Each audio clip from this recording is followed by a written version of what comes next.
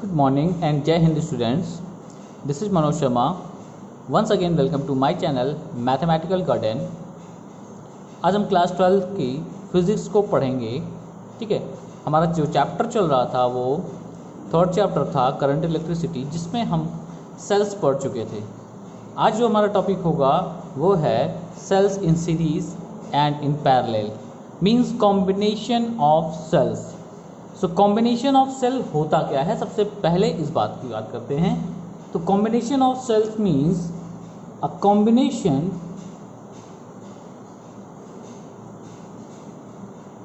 of cells is called a battery. अगर हम cell के कॉम्बिनेशन की बात करें तो सेल से मिलकर क्या बनता है? क्या फॉर्म होता है? एक बैटरी फॉर्म होती है। एग्ज़ाम्पल की बात करें तो आपने घर में पेंसिल सेल जो आप बोलते हैं, है ना? जो घड़ी में लगती है वॉल वॉच में लगती है, या रिमोट्स में लगता है, जो छोटी वाली सेल ये अगर सिंगल यूनिट है तो सेल है। ठीक है? इस तरह से मैंने क्या कहा कि ये एक सेल हो गई।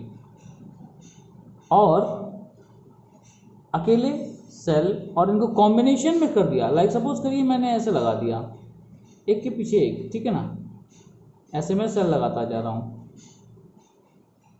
तो ये कॉम्बिनेशन क्या कहला रहा है? ये कॉम्बिनेशन कहला रहा है बैटरी अब combination of cell two ways में होते हैं। हम उनको कैसे? अगर इसका हेड माने, इसको टेल माने तो ये दूसरे वाले का टेल है और दूसरे वाले का ये हेड है। इसी तरह से ये भी हेड है और ये भी टेल है। तो हेड टू टेल्स जोड़ रहे हैं तो एज अ रेसिस्टेंस जैसे रेसिस्टेंस की बात हम करते थे तो ये भी क्या है? सीरीज़ में कनेक्टेड है। तो ये तो एक प्रैक्टिकल फिगर हो गया हमारा। ठीक है? अब ऐसा क्यों करते हैं? इसके साथ साथ हमारे पैरेलल के कॉम्बिनेशन भी हैं पर हम ऐसा करते क्यों हैं? क्वेश्चन एराइज होता है कि करते क्यों हैं? सो so, अगर हम बात करें सिंगल सेल की a single cell provides a feeble current बहुत कम करंट देता है। In order to get higher current in a circuit we often use a combination of cells two or more cells बहुत सारे लगा सकते हैं। भाई एक अकेला सेल बहुत छोटा सा करंट थोड़ा सा करंट दे रहा है। ज़्यादा अमाउंट ऑफ़ करंट चाहिए तो हमें क्या करना पड़ेगा? कॉम्बिनेशन ऑफ़ सेल यूज़ करना पड़ेगा। करेक्ट है ना? सो so, जो कॉम्बिनेशन है वो किस तरीके से है? जो मैंने यहाँ पर पहले लिखा है सीरीज़ में है और पैरेलल में है। आइए one by one series and parallel पढ़ते हैं। सो so, अगला टॉपिक जो होगा यहाँ पर वो cells in series combination cells in series combination जैसे मैंने ये बताया ये हमारा सीरीज़ कॉम्बिनेशन का एग्जांपल हुआ पर अब हम इसे अपना सिंबॉलिक फॉर्म में जैसा हम जब फिजिक्स में बनाते हैं उस तरीके से फिगर भी ड्रॉ करेंगे और जानेंगे। सो so, स्टार्ट करते हैं here cells are connected in series when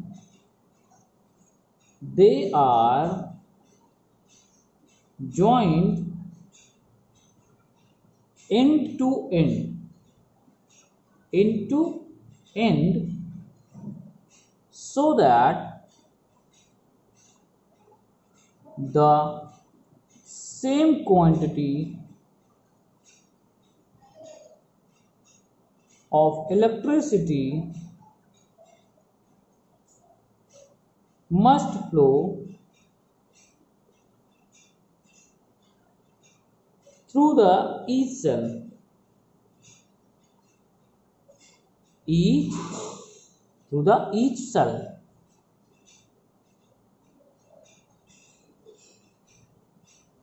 Correct जब इन टू एंड ज्वाइन करते हैं तो वो हमारा सीरीज़ कॉम्बिनेशन होता है। अब इसका फिगर कैसा होगा? तो इसका फिगर आइए देखते हैं, कैसा दिखेगा। हमारे पास सेल का जो सिंबॉलिक स्ट्रक्चर था, वो कुछ ऐसा है।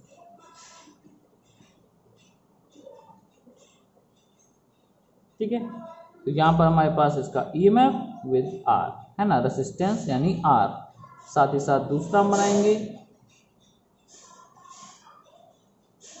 एम एफ़ और उसका रेसिस्टेंस तीसरा बनाते हैं ड्रॉ करते हैं यहाँ पर। Again E M F with resistance और हमने क्या किया? एंड टू एंड इसे ज्वाइन किया।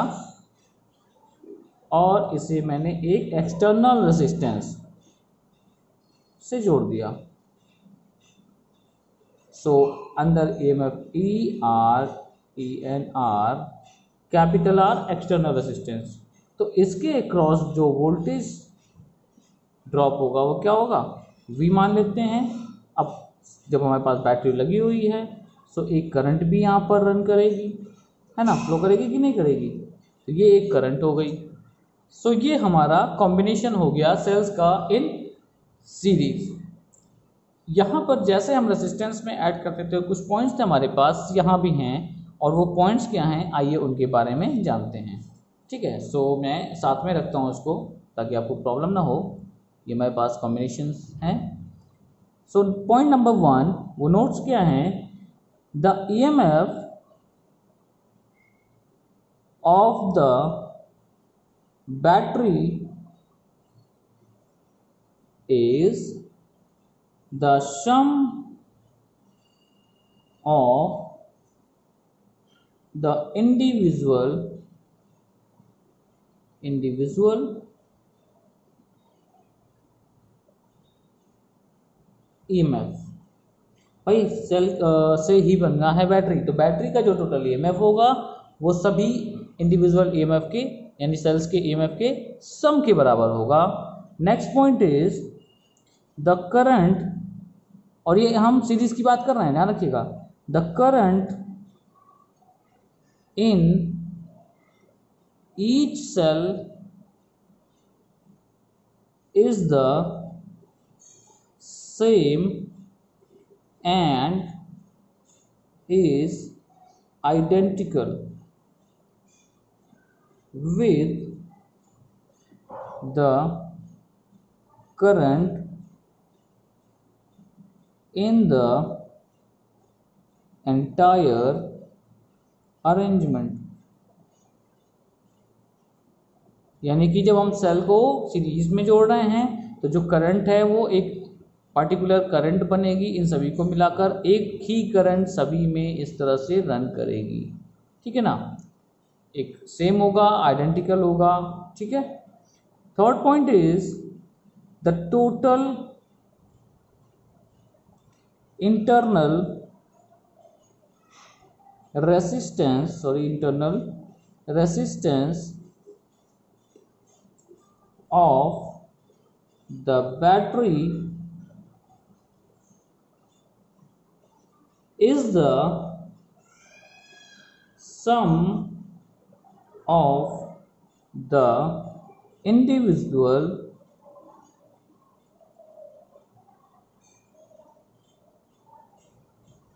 resistances.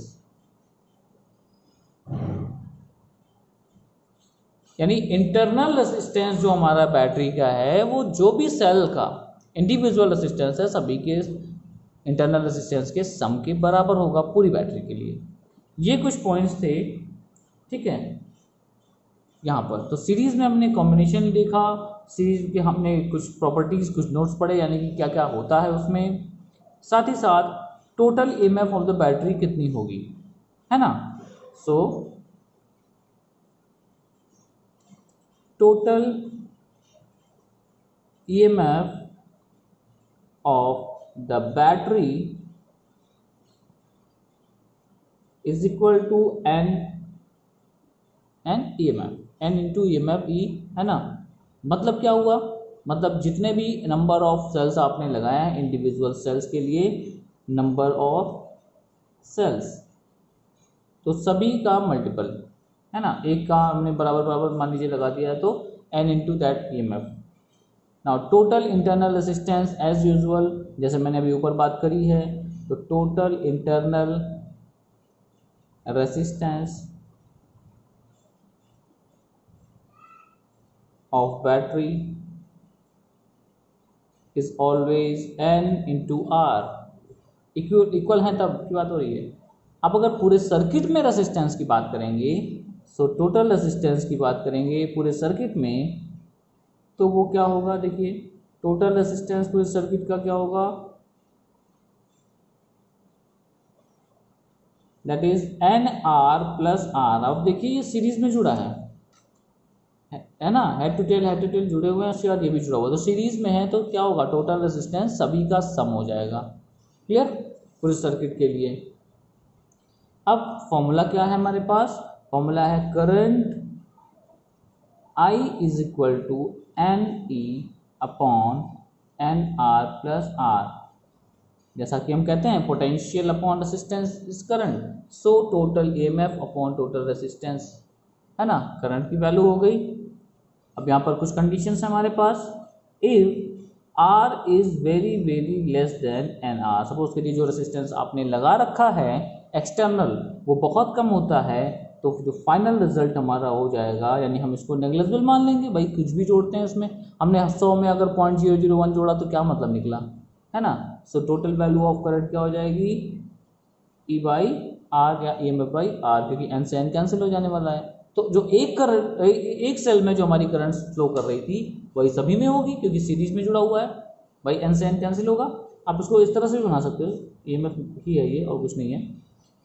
Again if N R is very very less than R ठीक है तो हमारा वहाँ पर टोटल करंट की वैल्यू किसके अकॉर्डिंग आएगी? ई एम एफ़ कौन? कैपिटल आर तो ये हम अपने क्वेश्चंस में ज़रूर ध्यान देंगे कि क्या होगा। इन सारी बातों का क्या कॉन्क्लूज़न निकला? So conclusion is this when the internal resistance is negligible in comparison to the external resistance then the cells are connected in series to get the maximum current है ना? जब एक्सटर्नल रेजिस्टेंस क्या हो जाएगा?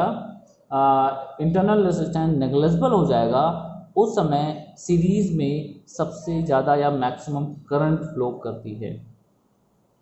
Clear क्योंकि external तो हमने कुछ लगा ही रखा है। इंटरनल एकदम नेग्लिजिबल हो रहा है मतलब वहाँ पर ईएमएफ यानी बैटरी में सेल में कोई रेसिस्टेंस नहीं है तो करंट मैक्सिमम होगी, उससे ज़्यादा फिर नहीं हो सकती। आई होप कि आपको समझ में आया। ठीक है, अब बढ़ते हैं हम पैरेलल कॉम्बिनेशन के लिए। पैरेलल कॉम्बिनेशन में क्या क्या टर्म्स क्या क्या कंडीशंस हमारे पास आती हैं। So come to parallel combination.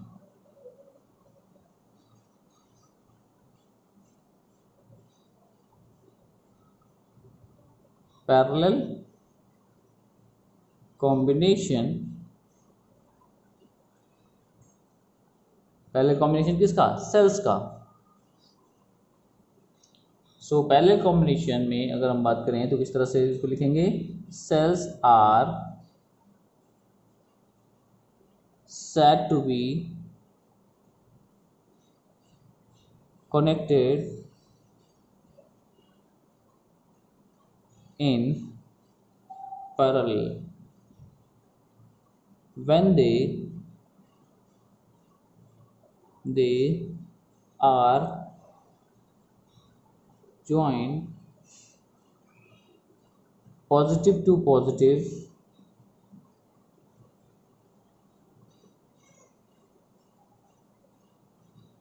and negative to negative term such that such that current is divided आप ध्यान दीजिए, वहाँ पर करंट सेम जा रही थी, यहाँ पर करंट डिवाइड हो जा रही है। Divided between the cells correct ये हमारा पूरा पैरेलल कॉम्बिनेशन को हमने डिफाइन किया कि जब वो positive to positive and negative to negative connected होंगे उसके टर्मिनल्स के अकॉर्डिंग उस समय करंट भी क्या होगी? डिवाइड हो जाएगी। भाई, हमने इस तरह से कनेक्ट किया। आप एक बार देखिए ध्यान से। एक सेल दो सेल और ये तीसरा सेल तीन लेकर बात कर रहे हैं यहाँ पर। और तीनों को मैंने फिर क्या किया? जोड़ दिया। पैरेलल कॉम्बिनेशन में। हेड टू हेड एक साथ, यानी पॉजिटिव टू पॉजिटिव एक साथ एंड नेगेटिव टू नेगेटिव एक साथ। और फिर इसके क्रॉस हमने एक एक्सटर्नल रेसिस्टेंस लगाया इधर। ये एक्सटर्नल रेसिस्टेंस आर है। ई एम एफ़ ई का with R resistance E M F E with R resistance E M F E with R resistance अब होगा क्या? टोटल एक करंट आई अमाउंट की यहाँ पर फ्लो कर रही है और जो इंडिविजुअल करंट ये लोग दे रहे हैं like I one I two I three भाई, अभी तो हमने सभी का ई एम एफ़ और रेजिस्टेंस सेम रखा हुआ है, पर हम डिफरेंट रखेंगे तो डिफरेंट आएगा। करंट यहाँ पर आने के बाद फिर से डिवाइड हो जा रही है वापस इधर अलग अलग है ना? ये हमारा पैरेलल कॉम्बिनेशन है। इसमें भी हमारे पास कुछ नोट्स हैं, जैसे हमने करंट की कंडीशंस है ना रेजिस्टेंस की कंडीशन बताई। सीरीज़ में वैसे ही हम पैरेलल के लिए बात करते हैं। So here is point number one the E M F of the battery is the same as that of a single cell. Single cell का जो ईएमएफ e होता है, वही पूरी बैटरी का ईएमएफ e होगा। है ना? यहाँ पर क्या है? पूरी बैटरी का। फिर यहाँ पर करंट की अमाउंट फिर चेंज हो जाएगी। Next point is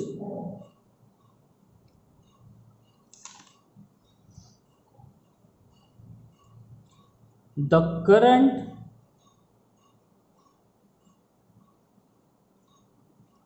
in a in the external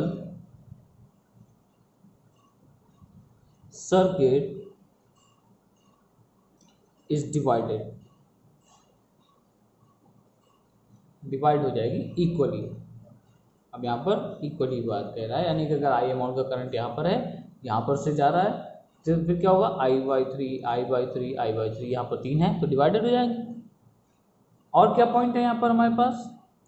parallel के केस में क्या होता है? The reciprocal of the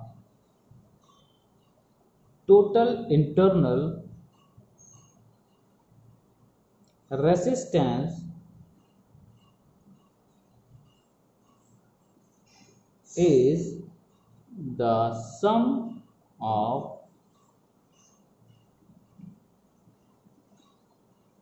the reciprocal of the individual individual internal resistance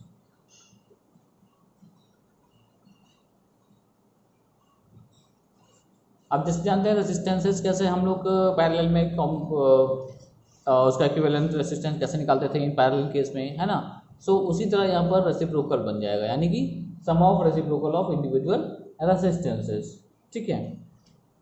ये हमारे पास हुए कि करंट क्या होगी ईएमएफ कैसा होगा और उसका रेसिस्टेंस है इंटरनल रेसिस्टेंस कैसा? है उसका इक्वल हम बनाएँगे यानी कि बनाएँगे तो क्या बनेगा? दैट इज़ यानी क्या हुआ हमारे पास? जो टोटल ईएमएफ की बात हमने की